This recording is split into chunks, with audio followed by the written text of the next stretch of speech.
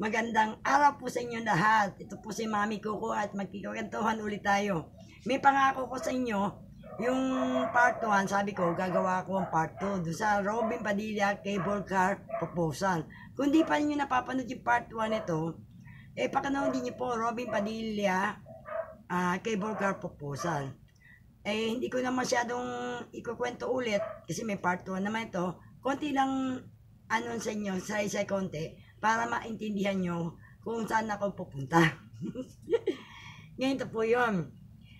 Kasi mayroong suggestion si Robin Padilla sa traffic daw, para mawala raw yung traffic, eh maglagay tayong cable car. Para mabawasan daw yung traffic.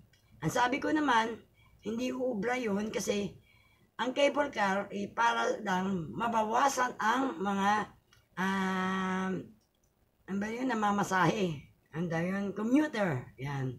Commuter. Ngayon, ah, po pwede mo hindi sa traffic. Kasi, hindi, hindi naman ihinto ang mga kotse para lang sumakay ng cable car. Imposible yun. Karamihan, kaya nga gusto nila magkotse para ayaw nila mag-commute, ayaw nila makadikit sa ibang tao. Di ba? So, kaya nga dumadami ang dumadami may kotse. Yan. Yun ang pong ano natin, sa unang part 1 yun, yun ang pinaka uh, summary na konti. Mapanoorin yung par- part 1. Ngayon, sabi ko nga, mut meron ako nakita sa YouTube din po na isang proposal din po na para sa traffic na sa tingin ko ah, ako lang ah, tingin ko, nanood ako, meron. Yeah. Merong pag-asa ang traffic na mawala dito sa proposal niya. Nandali lang si screenshot ko. Ito, ang tawag nila dito ay elevated highway, no? Elevated. Paano mo elevated? Ito po. Elevated siya. Yan, nakita niyo? Ayun po yung sa baba. Yung sa baba, yung pinaka-original highway. Tapos ito yung LRT. Doon siya na magdadagduduktong ng ilang layer na highway. Yan. Ngayon, ang tanong nyo sa akin, ba't hanggang doon baka mahulog ang kotse? Hindi ho. Pinakita lang ho yun para makita ninyo, para makita ninyo yung, yung idea na ilan layer yun. Baga sa cake, baga sa, baga, baga sa cake, eh, hinati natin. Di ba, minsan cake, eh, you oh, para malaman mo, three layer yun. Yun, ganun. Kasi yung layer na yun, for example, the first layer, yung the original na highway, pwede yan na ilagay doon yung mga delivery, uh, bus, yan. Tapos, the second, second layer, pwede naman sa mga private mga kotse. Kung saan dire-diretso sila. Kaya motor. At isa pa, itong layer nito, siyempre, hindi naman sasanihan traffic. Ang, ang maganda pa yan, yung mga ambulance, yung mga bumbero, mga emergency, pwede sila sa taas, sa baba. Kasi emergency naman sila, di ba? Sa taas, baba makakapili na siya kung saan ang maluwag. Maluwag din sa baba. Din sa baba sila. Di ba? Mas maganda, mas maganda. At wag sasabihin niyo, ba't ang taas naman niyang, uy, uy, di ba Marcos Highway nga eh, dagat nga eh. Oh, dagat na eh, oh, di ba? Oh, naitatayo nila eh. Matatayo rin, posible hindi na. Hindi, hindi propose sa engineer kung hindi sila tinig na mabuti. Eh, siyempre, ang inaano, ang concern ko lang, dapat uh, uh, earthquake proof yan para sigurado naman na safe naman yung mga vehicle doon. Di ba? Kahit na magdagdag sila na magdagdag ng, ng vehicle, mga bumibili, o oh, edi maluwag. Maganda nga sana kung itong ano, uh, first layer, di ba? Uh, ang mga bus, mga public, oh, delivery. Second layer, mga light, di ba? Tapos third layer, yung buong second layer, ibigay na sa mga kotse. Tsaka motor eh. Oh. Tapos yung third layer, yun naman yung pa pauwi na mapabalik. Oh, buri sa kanya la. Oh, di ba? Yan laki-laki yun, laki ng daan. Oh, pag naka-traffic pa yun, ewan ko na lang, sa laki ng daan yun.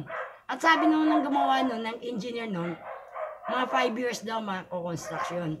At sabi din daw niya na, ang tawag ah, uh, lahat nakahanda na, well prepared pati sponsor. Kaya lang nga, ang approval lang wala pa. Kung hanap ninyo na ah, solusyon sa traffic, sana tignan nyo rin itong elevated highway.